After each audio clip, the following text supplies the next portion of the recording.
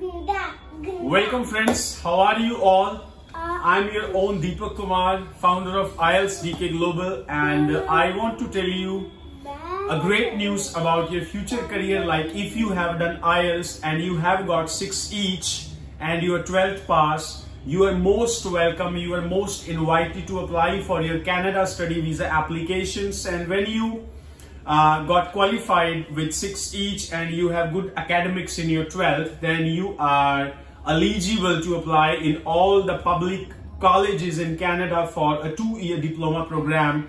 And the best part about me, about the counseling that I provide is I myself is an engineer as well as a MBA postgraduate. So I have a good knowledge of all the courses that you can pursue and what kind of job opportunities you can have after pursuing those courses. And as far as my services are concerned so i don't charge any money for canada study visa counseling.